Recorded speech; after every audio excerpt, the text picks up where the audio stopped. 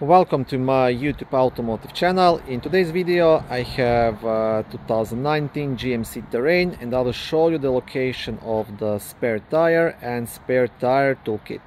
This video will apply to second generation of GMC Terrains made from 2018 all the way up to 2024.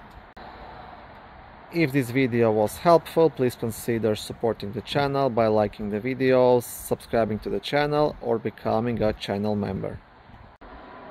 So first you want to open the lift gate and then you will lift up uh, this compartment right here.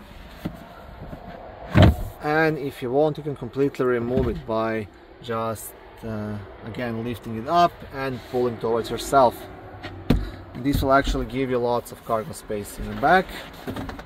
And now to access the spare tire you will still need to remove this cover as well. So you have like a small opening here. Which you want to grab and lift it straight up and remove it. And here is the spare tire. Now the jack and all other tools are just uh, under the tire. You will see them inside there. So first you have to remove the tire to get access to all of the tools right?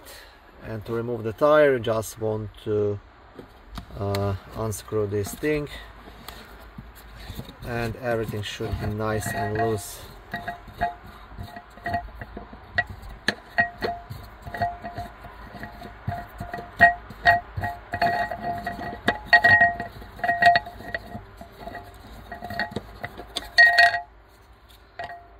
And that's it Thank you for watching this short video. I hope it was helpful and educational. If it was, please like it and consider subscribing to my YouTube automotive channel.